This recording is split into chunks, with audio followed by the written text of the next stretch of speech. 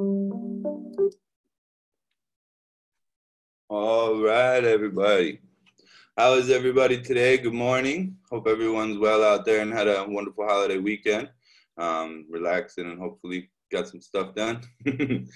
Um, so a couple quick updates before we start today. The first one tomorrow we start off our coral week, coral reefs week. We've got Christina Cortez coming, who's the one of the founders of Coral Hero. She's going to be taking us on a little adventure through uh, designing coral conservation programs in uh, Mexico. Then on the next day we have Ellen, our own Dive Ninjas team member. She's going to be doing an intro to coral reefs. And then for those interested too, on Saturday we've got something different. We're also offering an online course, um, the Project Aware specialty to for coral conservation. Um, so we got a couple cool things uh, coming up this week, plus a lot more great talks. We'll actually be releasing this afternoon um, the full schedule for the next two weeks. If you haven't seen it already, it'll be on Facebook and uh, Instagram later today. So make sure to uh, check us out on there. Uh, Max, how are you doing today, buddy? Hey, I'm doing pretty good. Thanks for having me here, Jay. Appreciate it. Awesome. Well, thank you for joining us. So today, guys, we've got something really different. I'm really excited for. Uh, Maxwel's going to be taking us on a, little, a bit of a exploration and kind of cool stuff off the grid out in uh, British Columbia and everything like that. If you don't know who he is, he's a contributing videographer for BBC and National Geographic. Um, so without further ado, I hand it over to you, brother. How are you today? Um, I'm doing great. Thanks, Jay. I mean, it's um, a little bit of dark times right now with this whole pandemic, but you know, hopefully we can shed some light on the world with these uh, live stories, and you know, maybe in the next couple weeks everything will get back to normal and get back to doing what we love and back into the ocean and exploring. Sounds great, man. Well, I'll hand it over to you. Feel free to share your screen when you're ready, and uh, I'll let you take over. Thanks, Jay. All right, guys. So I'm gonna pull up my my screen here. It's um it's on a subject that I, am truly passionate about, and it's um, diving off the grid. So this is, you know, diving in places that people don't normally go. Um, I've been pretty fortunate to have been diving like all over the world. I, I, worked as a recreational instructor for for many years, and I got to travel and see many exotic locations and countries. And and now I've been, you know, exploring my own backyard in, in Canada. And um, yeah, so I'll give you a bit of background about me. I, uh, I've been in the diving industry as a professional since 2005. Um, originally, I was going to go to film school and I wanted to be a you know a videographer. Had nothing to do with underwater at, at this point, but so I, I signed up for college. I, I got accepted to this this good good facility, and I was going to become a videographer. But I had about three months to kill before the program started, so I I decided to do a trip to Honduras and and do a bit of backpacking.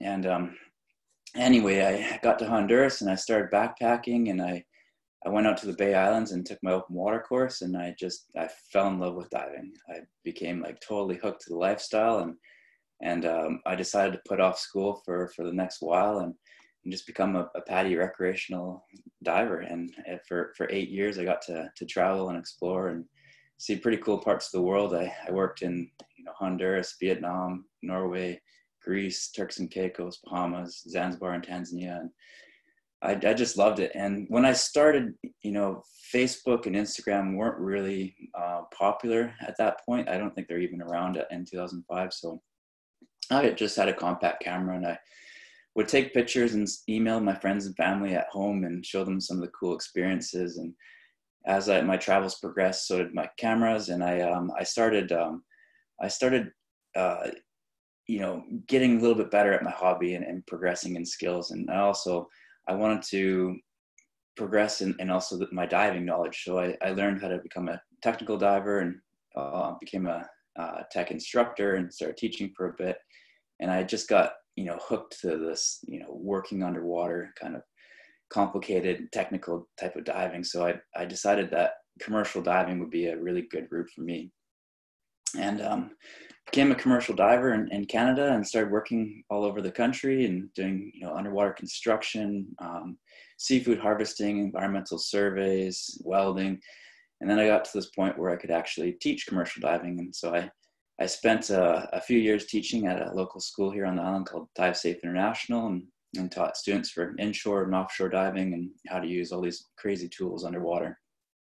But what commercial diving allowed me to do was to, to make a good income for myself. And as you know, um, dive gear isn't isn't um, isn't cheap, especially underwater camera gear. So I used um, my my trade and commercial diving to to kind of purchase all my stuff for for underwater videography and and diving, and I just kind of I went in deep. I, I kind of put commercial diving on hold and just really took took a passion to, to underwater photography and underwater videography. And with the help of social media, I started building up my my clients and my network. And and I got asked to do lots of um, stock video for for different documentaries. I licensed video to BBC and Nat Geo, and and I've got some pretty exciting projects coming up here in the, the, next couple of months. If if everything goes to plan, hopefully the world will get back to normal. We'll, we'll see. And anyway, the, the diving in Canada is is absolutely phenomenal, but not many people are aware of that.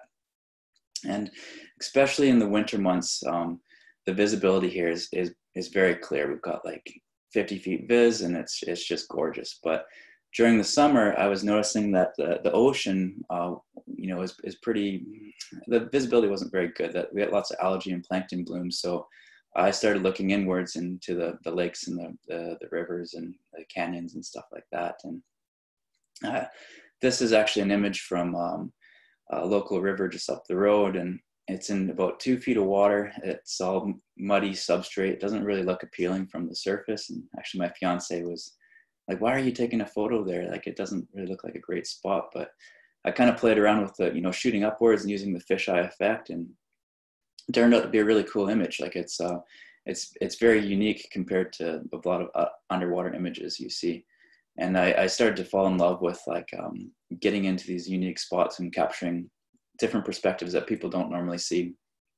And uh, not your like typical reef shark or manta ray or something like that. So I I wanted to you know get out there and really explore. And I, I started diving into the canyons and chasing the light. You know I really love finding uh, light peering through the treetops and down in the rivers and I go up logging roads and explore and use Google Maps to, to help me find different locations. And I'd have a drone with me to, to help find different different river pools I could dive into. And of course, the the visibility in the river isn't always like crystal clear like it is in these images. You kind of got to wait like three weeks or so before with no heavy rains, then you'll get the nice clear viz. But it, it just turned into this really cool spot to do a lot of um, landscape type photography, but underwater. And it, it, it, it really inspired me to, to do more and, um, you know, start bringing my friends and, and family and, and using them as models to, to, to help me with uh, these underwater shots. And I just, I just love the, the, you know, the texture and the colors and, and everything about the, the river diving. It's just, you get this emerald green that you you don't normally see in the ocean. Typically, when you you see underwater photographers work, it's all like bright blue backgrounds. In these rivers and, and lakes, there um, you get this really emerald green type color, and I I like it. I don't I don't edit that out. I, I like to keep it as as is or enhance it if possible, and you know really chase chase these these rays and look for really cool spots to to get unique perspectives and just diving with my buddy here, uh, Ryan Miller. Um, the best thing about diving with another photographer is you kind of use each other as as models from from time to time, and it gives a unique perspective to you know having a person in the image just kind of shows you the scale of, of where you're at, you're at. This is a, a pretty cool canyon uh, just up island, and it's 60 feet above. There's a there's a bridge, and it's it just turned into this gorgeous scene with the sunburst and I've, I've, I've, really just, you know, I love it. I can just use ambient lighting, don't have to bring strobes or lights with me and create these really cool, cool dramatic landscapes.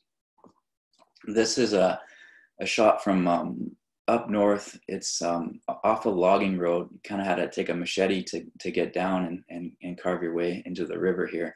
Uh, but it's a 60 foot canyon and um, from, from down below looking up, it almost looks like a, a castle with its formations. It's just, you know thousands of years of water flowing through this this canyon has carved up the limestone to, to really give it a really cool dramatic feel and having like a, a model like a, my friend here crystal Janicki in the background with a with a light you know really sent, adds a, a sense of adventure to, to the image and really makes it a you know pretty cool cool story here's another one with my buddy russell clark and you know down in this canyon, we're uh, we're sitting there doing photography, and then all of a sudden we get like this school of uh, a uh, hundred salmon swim by, and they start going upriver to spawn it's pretty wild. There's Steve Woods and Michelle and another local spots and you know the, just the, the, textures you get like the, the rock formations are just so cool. It's nothing nothing you'd see in the, the ocean like this. And occasionally you get the big big logs that come down the river and get get wedged in the cracks and crevices and stuff. And you know uh, steve woods is one of my good buddies and he's a he does lots of photos and some of his stuff's gone into the national geographic and whatnot. And you know we just take turns putting down our cameras and, and getting shots of each other and lining up, you know, chasing the light and finding cool, cool perspectives and really getting that nice emerald color to create a, a really dramatic, dramatic scene. Here's another one with uh, my buddy William Drum. Uh, it's kind of hiding in the in the shallows and letting the sun kind of pierce over top of the the riverbank. And Steve Woods, we uh, decided to, you know, take off his fins and get him to, to run along the bottom. And there was a bridge above us and it looked really cool. It's like almost like a, um, I don't know, a scene from Star Wars or something like that. The light's almost like his, his lightsaber. And, you know, I put this up online and it immediately became like a, a meme and went all over the world and just got completely viral. And just from, you know, simply just taking off his fins and running along the bottom for some, for some images, it, it turned out pretty cool but you know, pretty pretty unique compared to any kind of ocean dives I've ever done.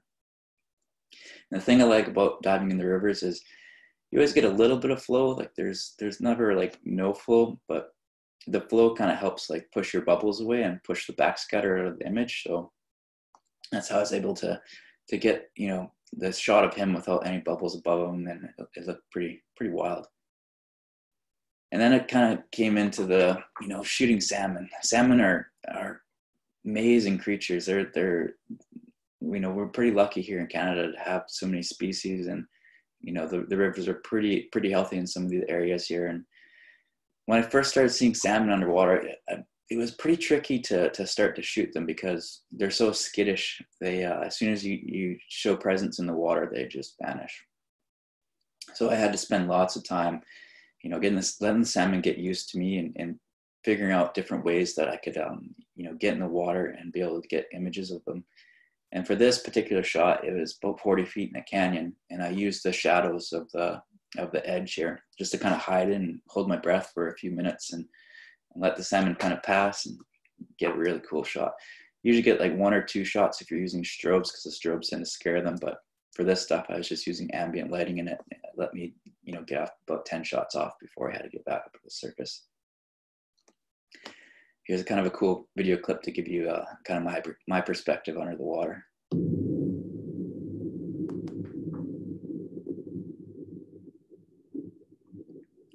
So you get thousands, th tens of thousands of, of pink coho, chinook, uh, depending on the time of the year and the species. You'll just get these these pools of salmon. And for this video, I I actually wasn't underwater uh, shooting this. I I watched the salmon and to kind of see their their behavior and what their kind of their routes were underwater. And so what I did is I, I went down and I uh, put my camera on a tripod and let the camera I let the fish get used to the, the camera if you put the camera in the water for a couple hours they, they get used to it and they don't get scared i think the reflection in the dome kind of spooks them so you put it in the water let them get used to it and then they get comfortable. And so i set it up and used the, the ambient lighting it, it worked out really well. And here's another shot from um, from down below looking upwards.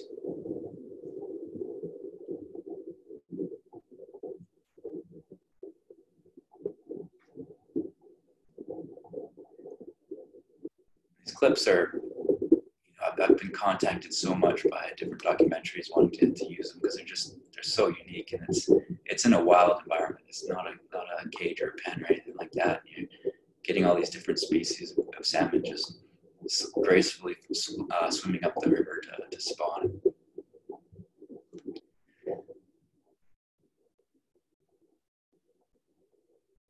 makes a, a pretty good back uh, backdrop or desktop display for, for a background on your computer too.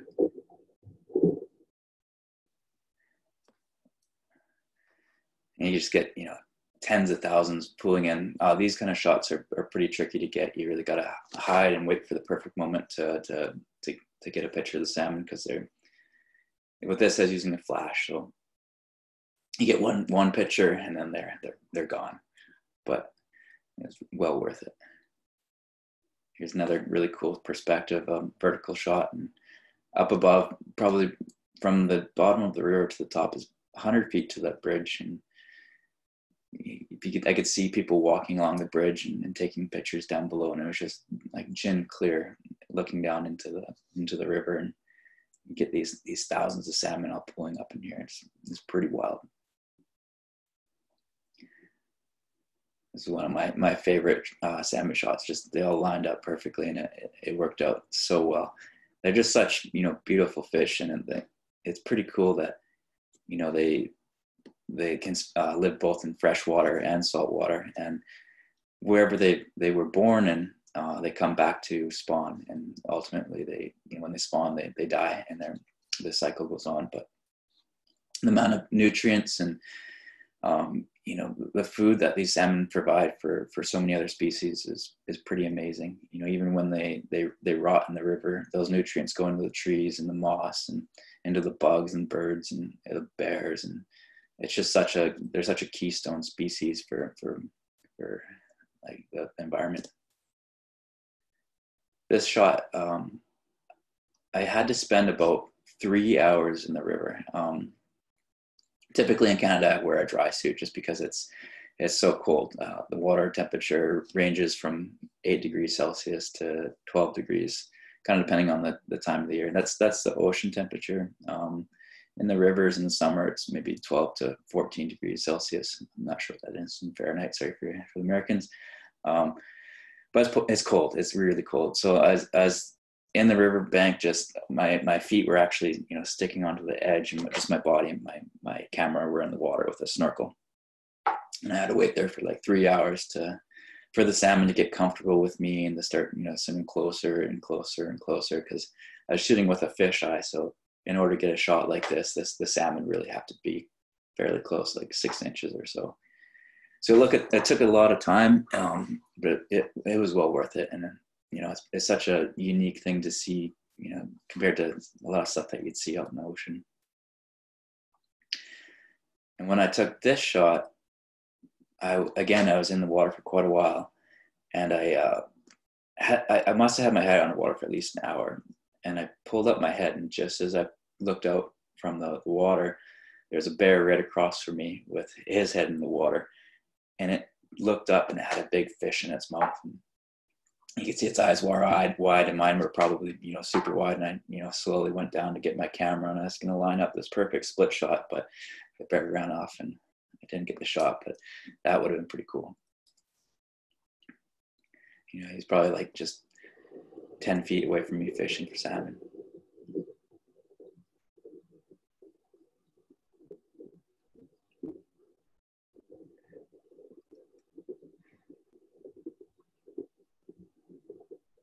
once they're comfortable with you, they they they don't mind the the camera and the lights. And, you know, they just they just do their thing, and you know you got to respect them and not spook them from their their environment. When they're busy trying to get upriver to to spawn and get to this, they're d- different birth birth places to to release their eggs. They're they're pretty preoccupied.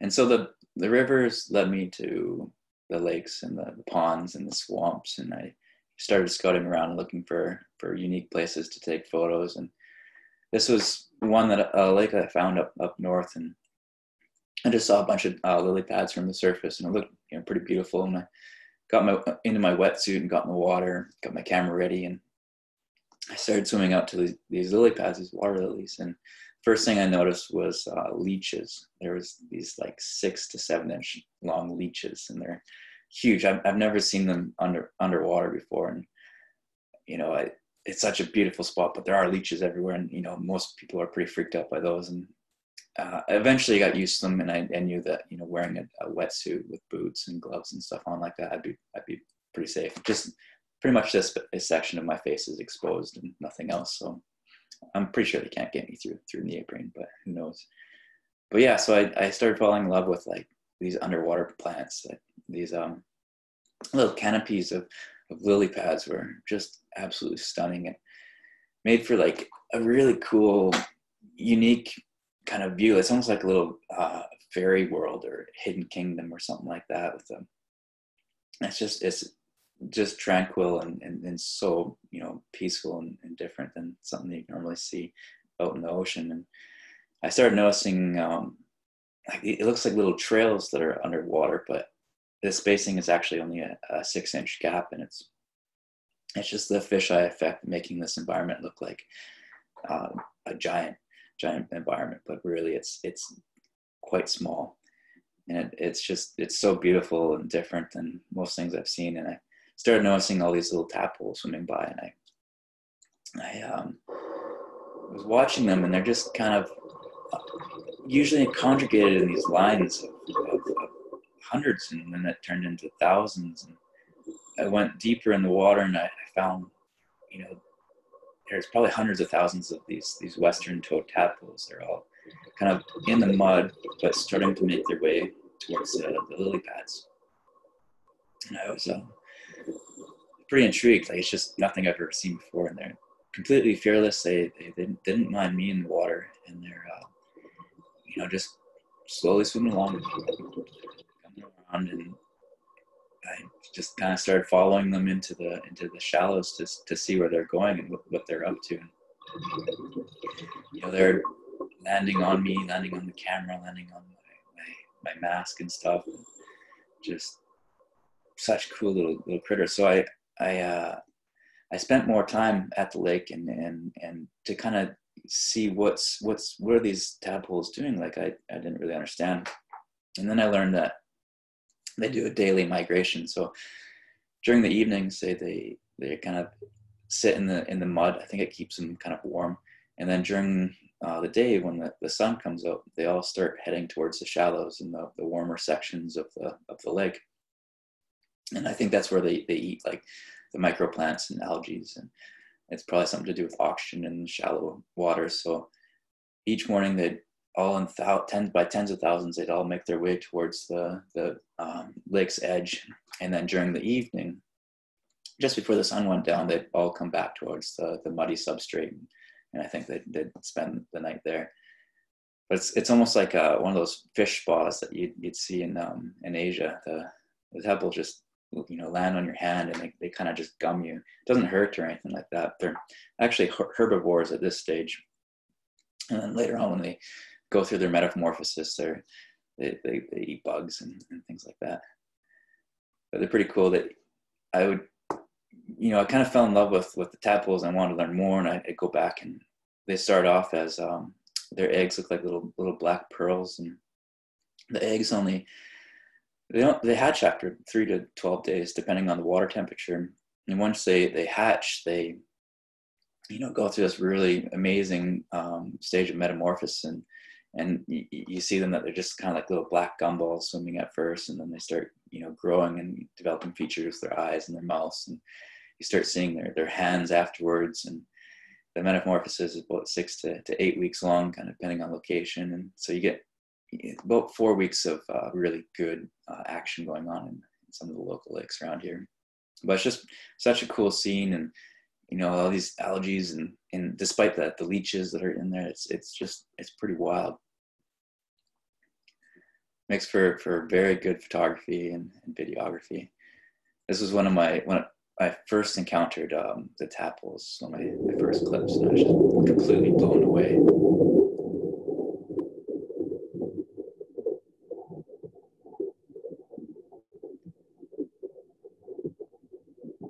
You can see lots are in like different stages of their metamorphosis depending on when they, they hatch.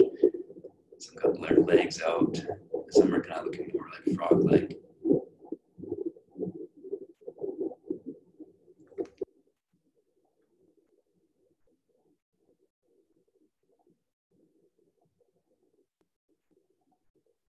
Because this is, um, you know, through the lily pads, it's, it's quite a, a fragile environment. So you got to be really like careful with, um, you know, not damaging the, the their environment. So I usually don't use lights or strobes or anything like that, just ambient lighting and I usually put on a fisheye just so that my, my system's really compact and I can navigate through the, the water lilies with ease without disturbing any of their habitat or anything like that.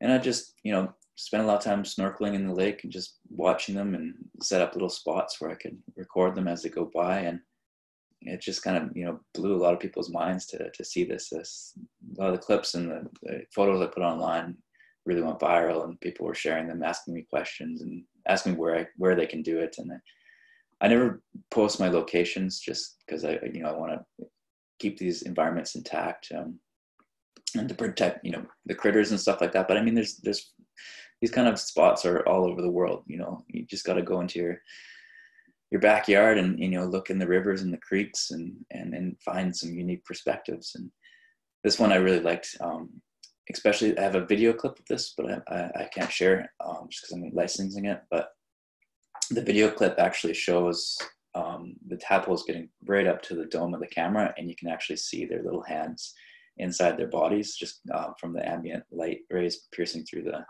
the water. It's, it's really cool. And they've almost like got this like glittery color to them. Pretty neat little creatures. And it's like you, you get this really cool uh, grassy bottom in some of the, the, the spots of the of the lake here, and just makes for for you know such a cool cool perspective. I'm looking up a lot of these images I've I've submitted to magazines and, and, things like that, sold them for for various outlets, and it's yeah, it's been it's been great. I, I loved it, but it's um it's not always freshwater that you're you know you can find unique perspectives. It's also the ocean, and what I do a lot is I just travel along the coast of British Columbia, and we're pretty fortunate here to have you know 25,000 kilometers of, of coastline, and there's so many unique spots that you can go and, and stick your camera and, and dive. And you know right right here this is only uh, three or four feet of, of water. Just, just like went off into the for a shore dive and you know you get these magical little little kelp forests. This is this is down about six feet.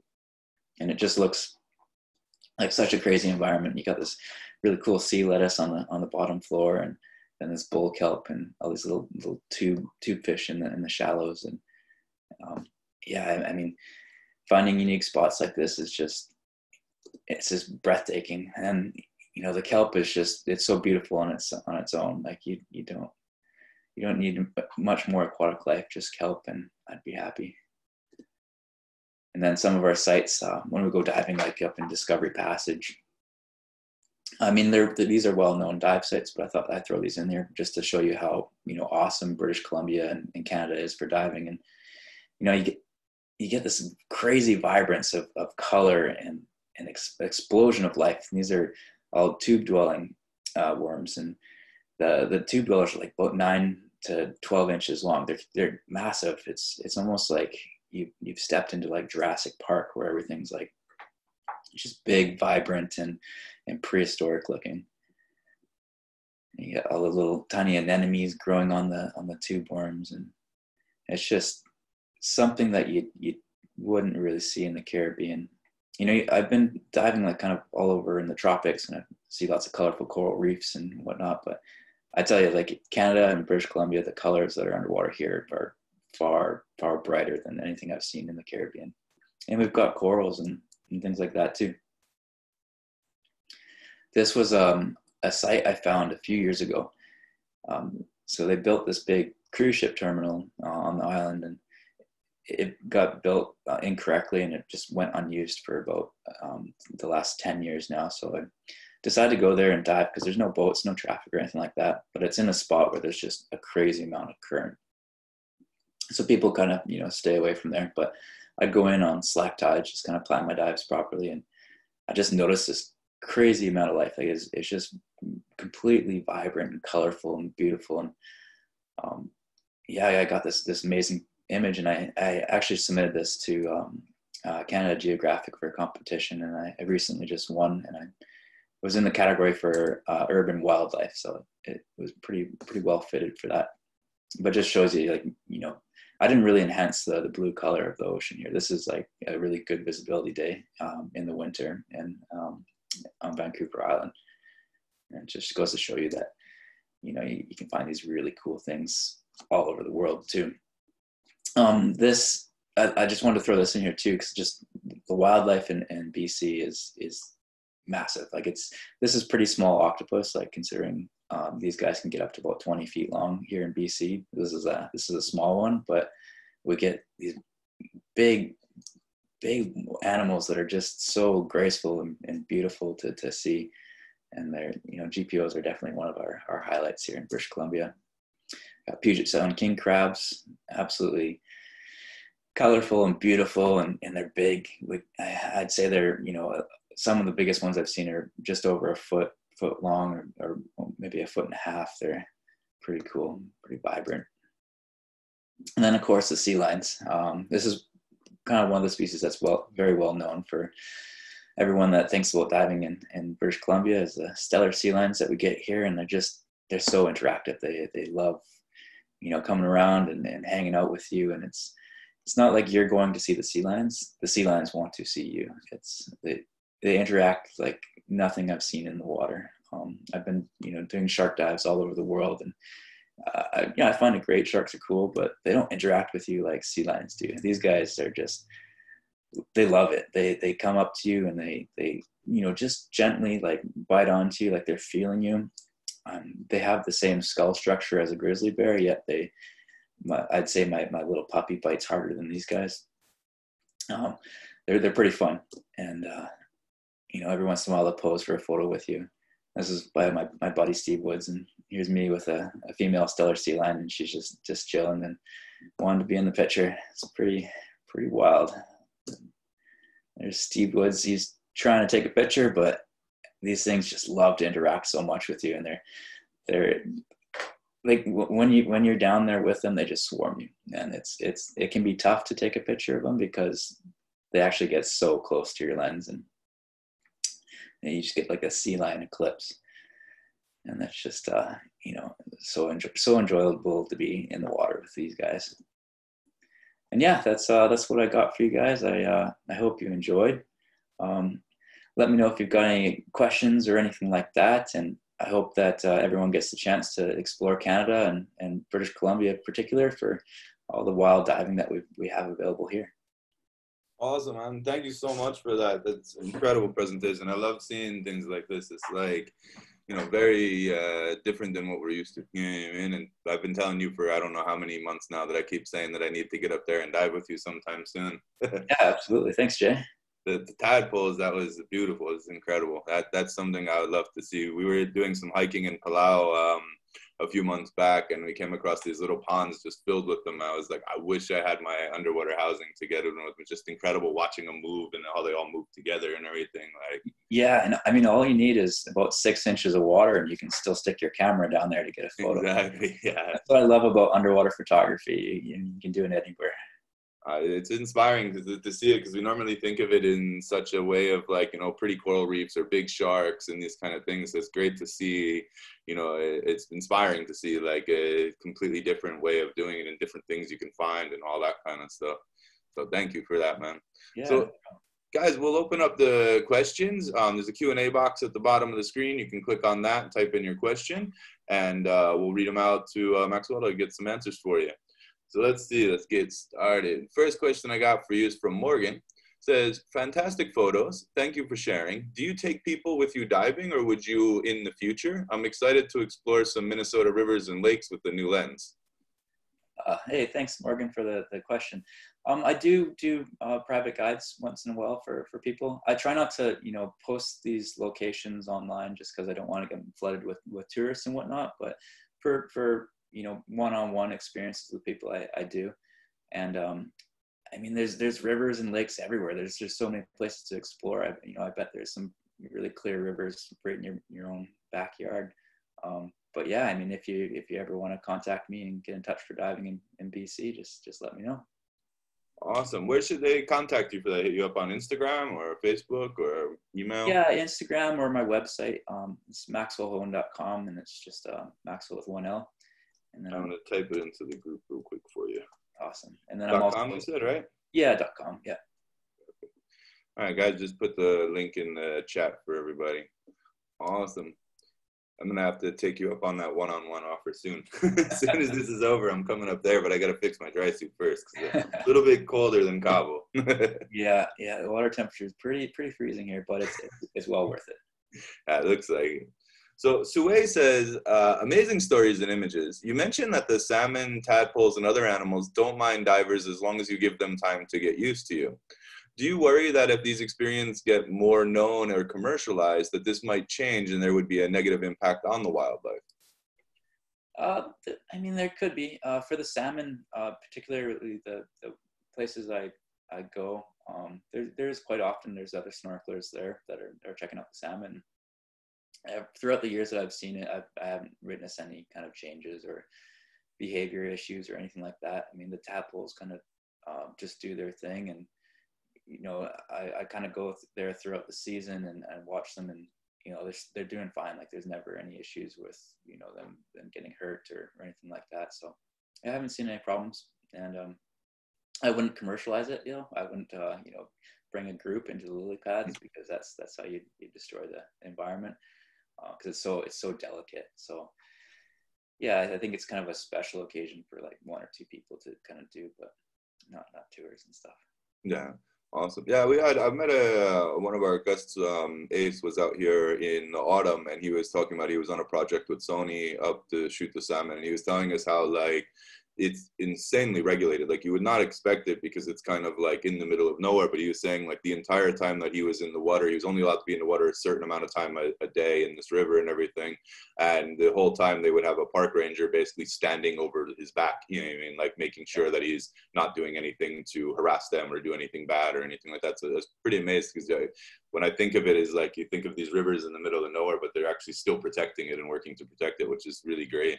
Yeah, no, that's good. There, there are lots of rivers like that around here where they're, they're quite heavily protected, especially mm-hmm. certain species of salmon. You know, like you get the, the sockeye, they only run every three years or so here. Mm-hmm. So, you know, a lot of the, uh, the, rivers are regulated with, with, um, with different rules and regulations and stuff like that. But yeah, I mean, I try to find spot, spots that are off the grid that are, aren't people don't really know about. And yeah. I don't uh, publicize them to, to try and get people to go there. Exactly. Awesome. Great question, Sue. So Liz says, uh, your photos are amazing. What is your typical typical camera setup? Uh, camera, lens, strobes? Okay. Uh, thanks. I, I appreciate that. Um, my camera's a Panasonic GH5. Um, I use it with a Olympus 8 millimeter fisheye. That's kind of my go-to setup because it's just it's nice and light, portable, micro four thirds, and get it gets like really amazing video quality. And that's usually the camera I use for licensing uh, video clips and things like that. But in the future, I'd like to get a red camera. I just uh, I break the bank, and I can't really afford that right now. But hopefully, um, there are some projects coming up in the future for me that I might be able to, to use one, just use one of the rental red cameras to, to get out filming. And yeah, I mean, the Panasonic GH5 is awesome. It's that's what I use for all those photos in, in my slideshow, and it does a good job. I mean, it's not the best, but it, it, it, I like having the versatility of using um, having a camera for both photography and videography. No. And then um, for lights, when I use lights, I've pretty much I've only used um, video lights for the last three years. Um, I'm actually ambassador with Light Motion. I've been using their products for the last ten years, and yeah, that's it's typically what I use is just just uh, two two uh, video lights, and it, it gets the job done. And I haven't had need for strobes, and haven't used them in the last three years. They've just been sitting on my shelf collecting dust, actually. That's awesome. Uh, GH5 is a phenomenal camera. I was actually looking at trying to buy one the other day. Um, trying to get one because I really want to start to shoot more video, and I, I, there's like nothing like it on the market when it comes to video and everything. Such an incredible camera. Mm-hmm. All right. So Maggie Dillon says, amazing photos. What is your Instagram? I can send you the link. Oh, thanks. Yeah, it's just uh, Maxwel Hohn. Nice, quick, and easy. There's only one of me in the world. there we go. I'll throw it in the, the group too. Perfect. Awesome. All right. Christine asks, your photography and video is just stunning and the colors are so vibrant.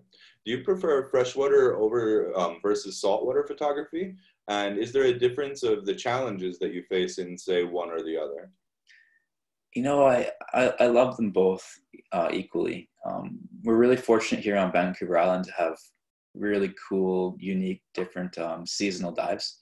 So when I'm diving in the winter, I'm, I'm usually diving in the ocean um, because the ocean here in, in, the winter is very clear and it's nice and crisp. You don't have the algae and plankton blooms. And then during the summer months, I'm, I'm diving in the, the rivers and lakes and the canyons and, and whatnot. Um, the one thing I do love about diving freshwater is you don't have to rinse your gear, and like it's it's it's great. Like I you know I can throw my all my dive equipment into my car and go out to the up the logging roads, go for a dive, and then just unpack, and I don't have to do anything with uh, rinsing, which is which is pretty handy. Uh, as far as like colors go and, and things like that, um, I find I, I, really like you know diving in the ocean to get that nice vibrant you know colors because there's just so much life, especially around here and then for more like moody and like uh, utilizing the sun rays and, and, and getting kind of unique perspectives, I, I like to do the, the freshwater sites around here. Awesome. Sounds great. Uh, I'm really looking forward to it. When I first started diving, it was in the UK and I used to do a lot of quarry diving and these kind of things. Um, so you get some really cool stuff, really cool critters too, and just a very different experience, I think, than the ocean in general. It's uh, really, really incredible. Mm. Awesome. Anyone else have any other questions or anything like that? Looks like we're caught up on those. If anybody has any other questions, you can pop them in in the before I hold up for a sec. And then um, if not, tomorrow we're back at uh, 10 a.m. Pacific time with Christina Cortez, one of the founders of Coral Hero. Um, she's going to be talking about uh, their conservation work and the kind of adventure they've had designing this whole uh, reef restoration program in the Mexican Caribbean and these kind of things.